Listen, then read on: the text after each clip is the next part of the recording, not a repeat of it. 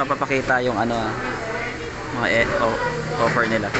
Pakita muna natin sa internet yung Don Juan Budol House Style.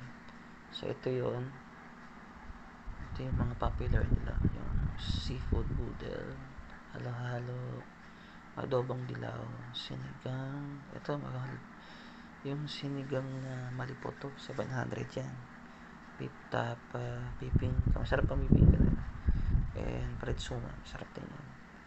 So, ito siya. So, puntahan talaga to. Pero pagka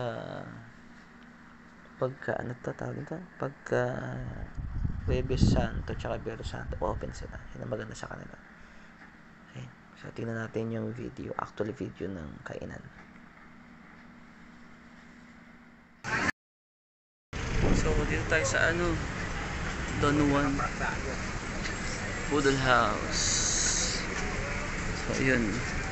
Dito sa heritage town ng Taal, Batangas. Dito rin yung Asia's big biggest Catholic Church.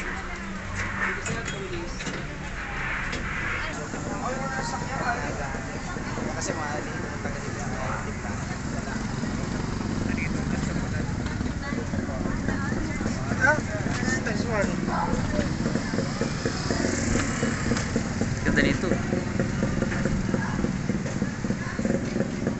Don Juan Boodle House is a popular restaurant located in Tal, Batangas. It is known for serving native Tal delicacies and is a must-visit destination for food enthusiasts.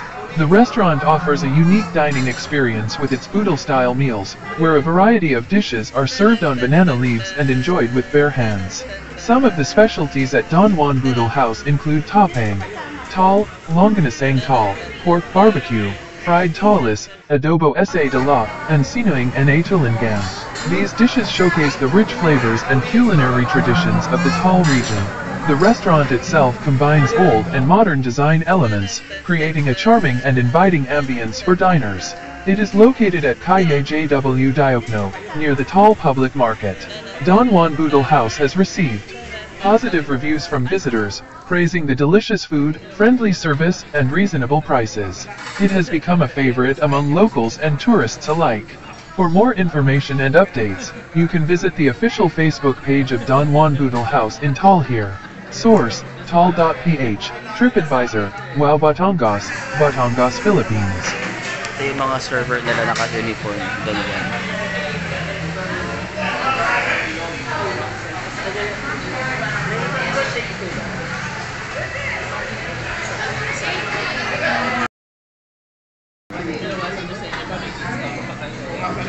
Daripada yang penasaran yang masih penasaran.